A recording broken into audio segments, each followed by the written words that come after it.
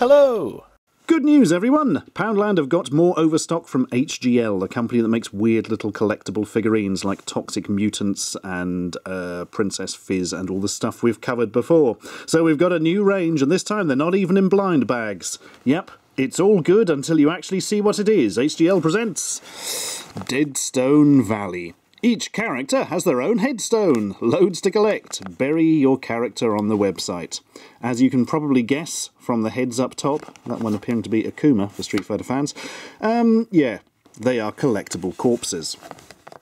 Just what every child wants. Collectible characters. Warning, character already dead. Here's a dead cowboy. We'll have a look at him in a second. So let's have a look at the background. As with all the HGL stuff, there is a website which enables you to uh, look at these quite badly drawn flash characters. Um, in fact, you can enter a little code off the bottom of the um, corpse's coffin that it comes with, and you can see your character buried in a very poor flash animation that looks like something a teenager did in the late 90s. Seriously. Each Deadstone Valley pack contains a character, a coffin, a headstone, and a burial plot. Lovely. Collect all of the characters, build each burial plot, and create your own Deadstone Valley Cemetery. That's what everybody wants. I've also noticed in the past um, a big box set of this where you got some, like an Undertaker, I shit you not, and um, grave diggers and stuff for your own plot of corpses, because that wouldn't worry your parents when you're eight years old at all, would it? Auntie Flo lies beneath. She took a deep breath and swallowed her teeth. Here lies scientist Hannah Batiste killed in a laboratory by a radioactive beast. You can see where this is going, can't you? And here's the one we've got specifically in hand. A cowboy, not looking particularly happy, clutching at his genitals where blood is pouring out of them. Poor old Gunslinger Joe. He was shot down below and died ever so slow. So, we have literally bought a toy of a rotting corpse of a cowboy who was shot in the cock. Fire up the camcorder, Reba. We gone done found ourselves some YouTube gold in the old Poundland mine. Seriously, what? Why else would you have made this if not for people to take the piss out of it on the internet? It, did somebody seriously sit in a meeting and say, "What are the kids like these days? Oh, like ponies and Lego." Tell you what, we should have a rotting body that's been shot in the genitals. Exactly what they all want. And next week we can have somebody who's been shot in the uterus. It'll be fantastic. It's just what all the kids want. I don't even pretend to understand. Right, anyway, let's rip it open and see what's inside. Burial plot, presumably. Oh, I see. It's actually... Uh, I didn't realise this. Ah, right, we're going to be a bit vicious with this because I haven't got time to faddle around with it on camera. Marvellous. You can actually have your own burial plot. Seriously, you would be so worried about your kids if they were young collecting these, wouldn't you? And the actual thing itself. Right, let's put him up in his coffin for his eternal slumber. Not that he looks particularly comfortable, probably being, you know, shot in the cock would do that to you. I don't know, I have no personal experience of that and hope to keep it that way. The, um, oh, it's quite solid stuff, but it's all a, a little bit warped. Nothing actually fits together properly. Well, there we are. You can't read quite what's on the tombstone. You can take the lid off, and then my personal favourite bit, exhume the corpse! Fantastic. Corpse exhuming action for ages four and above. Actually, what is the uh, minimum age on this? Uh, not suitable for children under three. Yeah, that's brilliant, because four-year-olds love nothing more than their own fucking graveyard full of genitally mutilated bodies. Well, the actual uh, thing is quite nicely um, sculpted. Actually, I don't know if you can see, but like all his eyes have rotted out or healed up or something. And his head is artic- Oh no, his head actually comes off. That's something of a surprise. And there he is.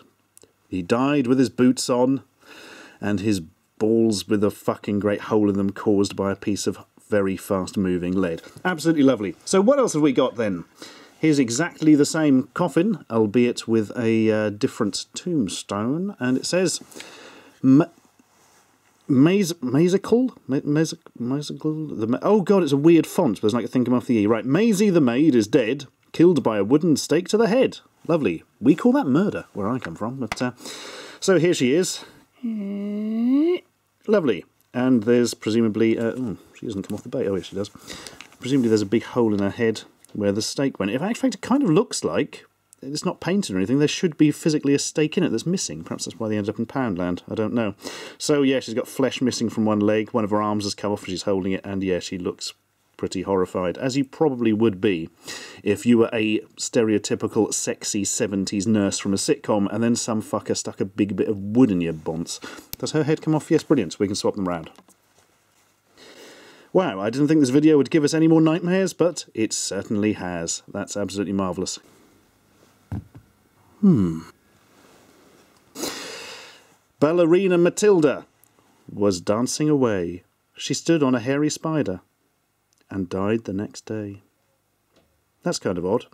How does standing on a hairy spider kill you? Was it an exploding spider? No idea. Anyway, different coffin design. It's like a big solid tomb thing. Open her up, and here she is. And the spiders are all in there just to uh, completely take the piss. The little bastards. Right. Yeah, well, looks kind of ballerina except with horrifying, rotten pustulant things where her eyes used to be. Well, I suppose they are her eyes, which have rotted away. I just didn't really want to think about that. And there she is in her tutu, and uh, can't see any sort of foot or leg related poison injuries from the spider, so I don't really know what happened there. But it looks like the spider had the last laugh, because, you know, the coffin's full of it, and uh, there she is.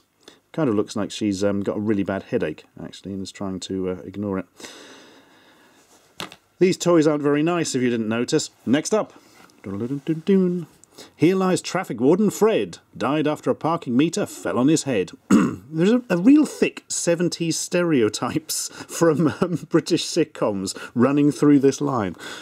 And indeed, here he is. Um, he's even got the little Hitler moustache. That's absolutely amazing. And holding up one arm in a vaguely Nazi type salute. Yep. Hmm. It is basically Hitler crossed with Blakey from On the Buses. Oh well, there he is with his blue card, which is what he gives a footballer if he's very cold or something, and his weird goggles, and yeah, um, fair enough. Doesn't look like anything filmed his head, particularly. Better we can take his head off, which I didn't realise, and have some fun swapping them all around and looking weird later. And finally, here lies... Oh, and a little uh, Lucha Libre mask, lovely. Here lies wrestler Lucky McGraw, who was thrown from the ring and broke his jaw. Hmm, a fatal jaw break. That's an odd one. Fatal jaw break, incidentally, is a great name for a heavy metal band if you need one. And inside the casket... Oh, that's slightly disappointing. Hang on, let's see if we can force this. There we are. My god, that is some facial hair, that is some teeth, and that is a wrestler called Lucky McGraw. Hmm. yep yeah, hmm. well, fair enough. Sort of uh, looks a bit like one of the 70s British wrestlers. My God, this is just a set of 70s British stereotypes that have died. There's probably some sort of meta commentary on uh, the current state of our culture or something. Right, let's swap heads round. This is always amusing. Um, that's a very dainty body, so it would be most amusing if we stick the giant bearded head on it, presumably. And look like they're trying to pull it off. Hmm, that doesn't kind of work, actually. It does just look like it came from something else. Um, Let's have... Oh, missing the maid's head. Maid, where your head gone?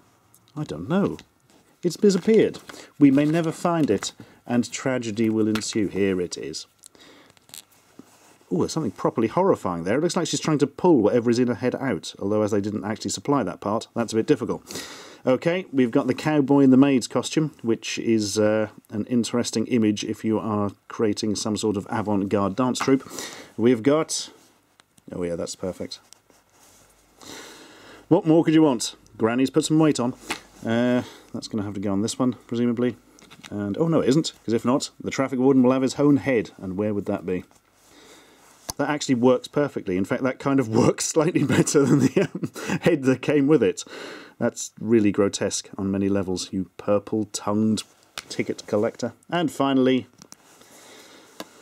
yeah, his head doesn't kind of work with anything, really. It does just look stuck on, doesn't it? Because it physically is.